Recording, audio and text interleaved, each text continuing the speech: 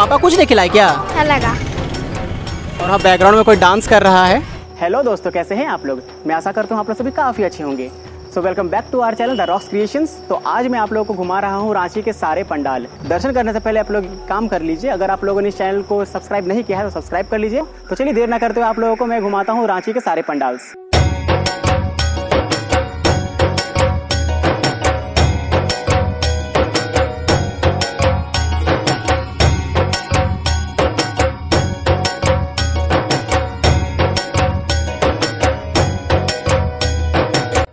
यहाँ पर शिव पार्वती जी का जो मूर्ति बनाया गया है, उनका जो टेक्सचर है काफ़ी सही दिख रहा है और हर जगह देखो आप लोग त्रिशूल ही त्रिशूल मतलब त्रिशूल से पूरा सजा दिया गया है इस पंडाल को और काफ़ी सही, त्रिशूल और बादल का कॉम्बिनेशन काफ़ी सही लग रहा है यहाँ पर। जैसे कि आप लोग देख सकते हो कि यहाँ पर ये जो बांसों से बनाया गया है प्लस यहाँ पर लाइटिंग किया गया है इस तरीके से, ये पूरा एक रेनबो का जैसा, यानी कि इंद्रधनुष का नुमा एक गोलाकार, गोल चक्री कह सकते हो, जो कि आपके इंद्रदेव के पास था। सुदर्शन चक्र, उस टाइप का ही इसको लुक दिया गया है।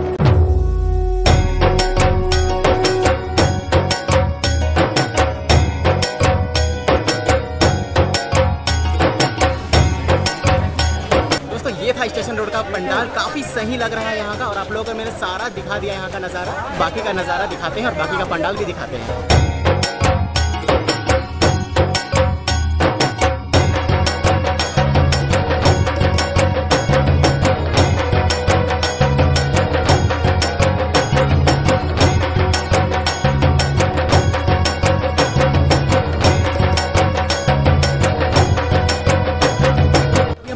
बाज़ार पर यहाँ का पंडाल जो है काफ़ी सही है और जैसे कि यहाँ पर ग्रास का टेक्सचर दिया गया है और वाइट वाइट पूरा बनाया गया है पहाड़ और पास ही में एक छोटा सा तालाब भी बनाया गया है। काफ़ी सुंदर नज़ारा है यहाँ का।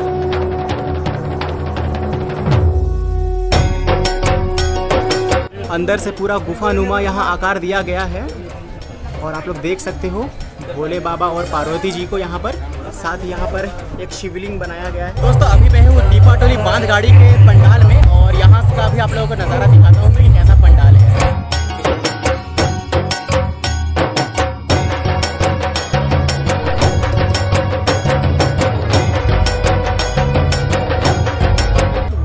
तक मैंने जितना भी मूर्तियों को देखा है, उनमें सबसे ज़्यादा आकर्षक मुझे ये दिख रही है। देख सकते हो आप लोग, और इसमें साफ़ तौर पर उपयोग किया गया है।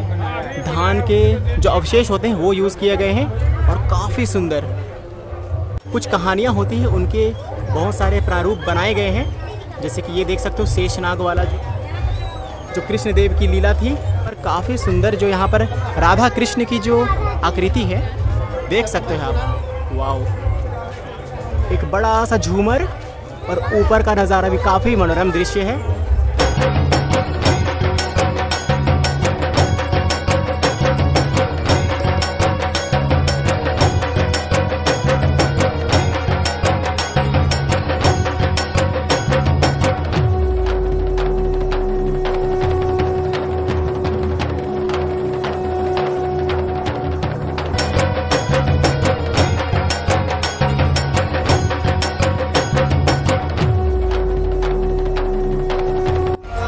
किनारे किनारे पर आपको देवी की प्रतिमाएँ देखने को मिल जाएगी।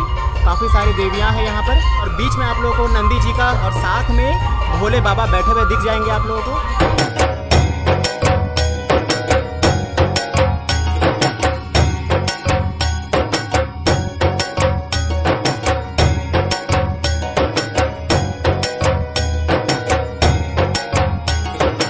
लोग हैं Bariatu housing colony Venex club में और यहाँ का जो पंडाल है वो काफ़ी अलग देखने में है। अभी तक हम लोगों ने जितना भी पंडाल देखा उनका जो था टेक्सचर वो कलरफुल था लेकिन यहाँ पर आप देख सकते हो पूरा व्हाइट और ब्लू का जो टेक्सचर है काफ़ी मनोरम दृश्य बना रहा है इस पंडाल को। और ये जो है फॉर्म का बना हुआ है और जो कि कितना सुंदर लग रहा है आप लोग देख सकते हो इसे। साथ ही सूर्य देव की प्रतिमा ऊपर और घोड़े जो कि उड़ते हुए हैं और काफ़ी सारा यहाँ पर नकाशियाँ की गई है। चलो आप लोगों को अंदर ले जाता हूँ मैं। तो जिस तरह की यहाँ पर कलाकृति की गई है देखने में एकदम स्वप्नलोक लग रही है। और ये पर्यावरण के प्रति हमारा प्यार को जागृत कर रहा है। हाँ अंदर भी वैसा ही जैसा कि बाहर है और सारे फॉर्म का यूज़ करके यहाँ पर इतना सुंदर बनाया गया है इसे। मतलब मैं तो कहूँगा कि अगर आप लोग यहाँ पर नहीं आते हो तो आप लोगों का पंडाल घूमना व्यर्थ हो जाएगा। तो दोस्तों हमारी मुलाकात हो चुकी है यहाँ के सचिव जी से। तो चलिए जानते हैं इस पंडाल के बारे में और सबसे पहले मैंने जानना चाहूँगा आपका नाम। हाँ मेरा नाम राणा रणधीर अच्छा ठीक है। तो ये पंडाल जो है काफ़ी सुंदर दिख रहा है। तो इसका जो सोच था वो कहाँ से आया आप लोगों को? एक्चुअली पर्यावरण को ध्यान में रखकर हम लोगों ने ये पंडाल बनाई और इसमें जानवरों को संरक्षित करना है और सारा भी जो भी थीम है हमारा उसमें कोई भी ज्वलनशील पदार्थ नहीं है और बैन प्रोडक्ट कोई भी नहीं है। और ये पर्यावरण के ऊपर पूरा थीम है।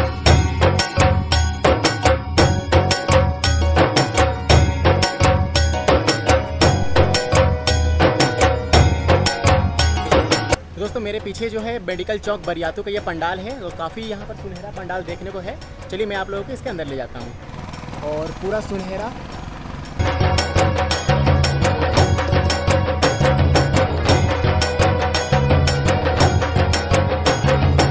तो दोस्तों, अभी हम लोग हैं मोराबादी के पंडाल में और देख सकते हो यहाँ का सिंपल ही बनाया गया है यहाँ पर। वैसा कोई खास तो भव्य जैसा नहीं है। फोम का बनाया गया है। इसका नज़ारा कैसा है? इस टाइप से आप लोगों को देखने को मिल जाएगा।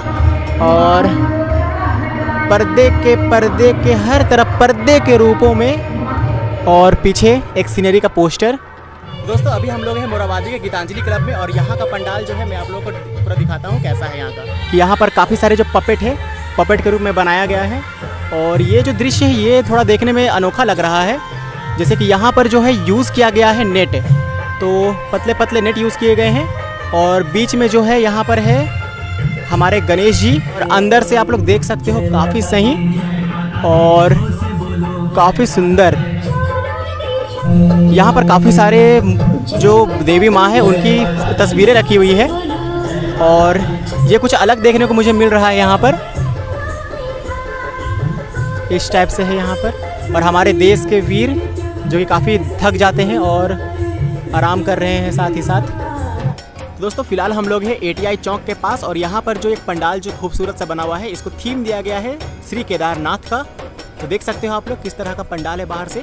साथ ही काफ़ी सारे डेकोरेटिव चीज़ें लगाई गई हैं पेड़ों पर और देख सकते हो, रोड के चारों ओर।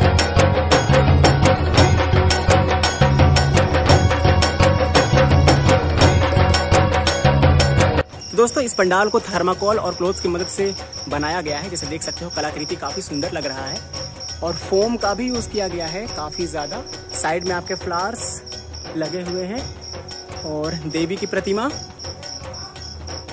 ऊपर देख सकते हो, दो नाव जो है, नाव की आकृति लगाई गई है। इट मीन्स कि इसे एक बोट का रूप देने का कोशिश किया गया है।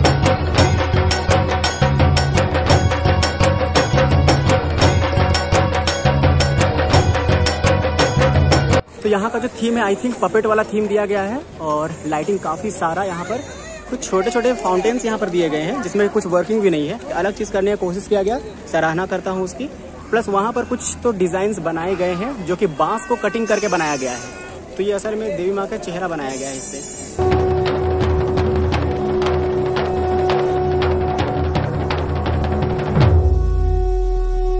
ये बनाया गया है पूरा लकड़ियों के द्वारा। और लकड़ियों की कटाई कर करके जैसे गोल गोल देख सकते हो वहाँ पर, और उसे चिपकाया गया है और मतलब लकड़ी का कुछ ज़्यादा ही यूज़ किया गया है यहाँ पर। देख सकते हो दोनों साइड लकड़ियाँ ही लकड़ियाँ और अंदर भी लकड़ियाँ। पर्सनली मुझे लगता है कि पंडाल को अगर लकड़ियों से इतना ज़्यादा लकड़ियाँ यूज़ करके बनाया जाता है तो इससे पेड़ों की बर्बादी भी हो सकती है। आप लोग कमेंट करो कि क्या मैं सही हूँ या गलत हूँ? प्लस यहाँ अगर डिज़ाइंस देखा जाए तो काफ़ी सही। ऊपर झूमर लगे हुए हैं। और अंदर देवी माँ की मूर्ति के लकड़ी के ही आकृतियाँ बनाए गए हैं, जिसमें सहनाई बजाता हुआ, कोई भोंपू बजाता हुआ नंदी जी का। तो इस तरह का है यहाँ का पंडाल। और जैसे कि आप लोग देख सकते हो कि मैं पहली बार देख रहा हूँ कि लकड़ी का ही झूमर बनाया गया है तो काफ़ी सही। तो दोस्तों, ये है पिस्का मोड़ पंडाल, और देख सकते हो यहाँ पर ये भी आपका फोम का और रुई का, यानी कॉटन का बना हुआ है। ये है यहाँ अंदर का नज़ारा और रुई जो होता है उससे बनाया गया है और साथ ही यहाँ पर छोटे छोटे जो आपके कॉटन के कपड़े होते हैं उससे। और अंदर जो है आपके लाइट्स के कारण यहाँ पर रंग बिरंगा दृश्य जो देखने को मिल रहा है, काफ़ी सही।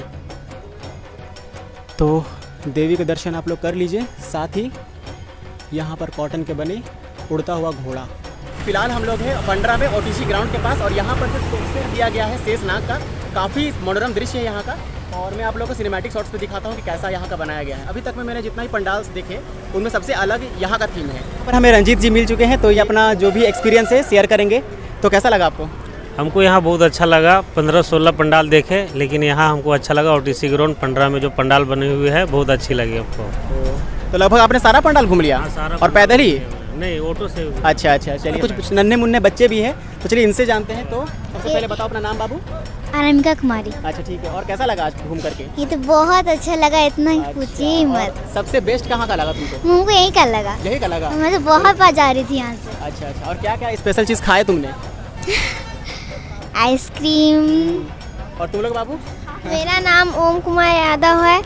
मुझे यहाँ का सबसे अच्छा पंडाल यही लगा क्योंकि यहाँ पे कृष्णा जी का ये एक याद है, इसीलिए मुझे ये सबसे अच्छा लगा। और हाँ बैकग्राउंड में कोई डांस कर रहा है तो उन्हें डिस्टर्ब ना करते हुए चलिए आप लोगों को अंदर का नज़ारा दिखाते हैं। तो दोस्तों, जितना ये बाहर से खूबसूरत है, अब चलिए देखते हैं कितना खूबसूरत है अंदर से। तो यहाँ का आप लोग देख सकते हो, इनका जो एंट्रेंस है, वो एक सांप का खुला हुआ मुँह है, जिसका एक दांत जो है टूट चुका है दर्शक लोगों के कारण ही। तो चलिए अंदर जाते हैं। तो काफ़ी अलग थीम के साथ साथ काफ़ी ज़्यादा यहाँ का अनोखा। तो ये अंधेरी गुफा में हम लोग आ रहे हैं और यहाँ हमें डराने के लिए कुछ कुछ डरावनी तो यहाँ पर बरगद के जो जड़ होते हैं, वो लटकाए गए हैं। साथ में उनमें नाग लटके हुए हैं और काफ़ी अलग थीम यहाँ पर। जितना खूबसूरत ये बाहर से, उतना अंदर से भी है। पूरे झारखंड में जो फ़ेमस है, बकरी बाज़ार मैं अब वहाँ पर आ चुका हूँ। और यहाँ का मैं आप लोगों का भी पंडाल दिखाने वाला हूँ। तो चलिए, आप लोग यहाँ का पंडाल का लुक उठाइए।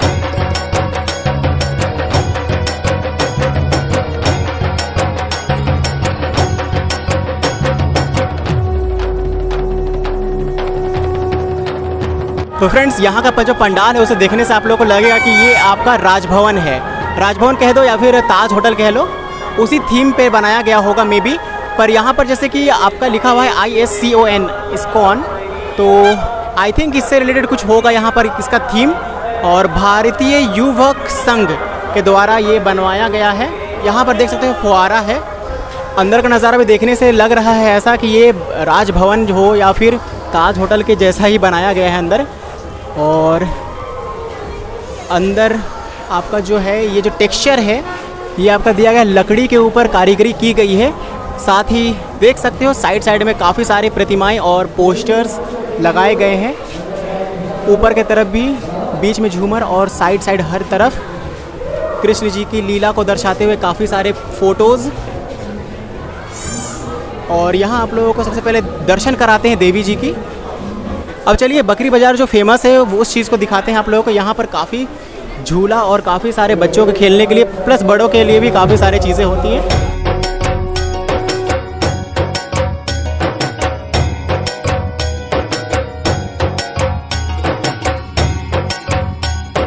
बकरी बाज़ार में इस बार एक नया तरह का झूला भी है, क्योंकि मेरे लिए तो नया है। इसमें आपको नाव का लुत्फ उठाने को मिलने वाला है। देख सकते हो आप लोग। बकरी बाज़ार इसलिए भी फ़ेमस है क्योंकि यहाँ पर सिर्फ़ ना कि पंडाल होता है बल्कि काफ़ी सारे खाने पीने का सामान भी होते हैं। हम लोगों ने सारा रांची का जो पंडाल है ऑलमोस्ट सारा घूम ही लिया। प्लस मैं बकरी बाज़ार आया था ये आखिरी पंडाल था जो मैंने घूमा। प्लस यहाँ पर एक बाबू मुझे मिल गई है तो ये यहाँ पर बताएगी कि इसे कैसा लगा आज घूम करके। कैसा लगा बाबू तुमको यहाँ पर घूम करके? अच्छा। अच्छा लगा। क्या क्या खाई तुम यहाँ पर मेला में आकर के? पापा कुछ नहीं खिलाए क्या? खिलाए। तो बताओ नाम तुमको नहीं पता लग रहा है? पापा कुछ नहीं खिलाए। क्या खिलाए पापा? का? कुछ का? आइसक्रीम। अच्छा तो दोस्तों ठीक है फिर? आशा करता हूँ आप लोगों को आज का वीडियो काफ़ी अच्छा लगा होगा। और मैंने कोशिश किया कि रांची का सारा जितना भी हो सके पंडाल आप लोगों को दिखा दूँ।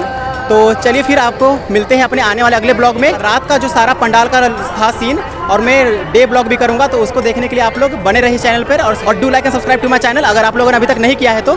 तो फिर मिलते हैं आपको अपने आने वाले अगले वीडियो में। तब तक के लिए जय हिंद जय भारत।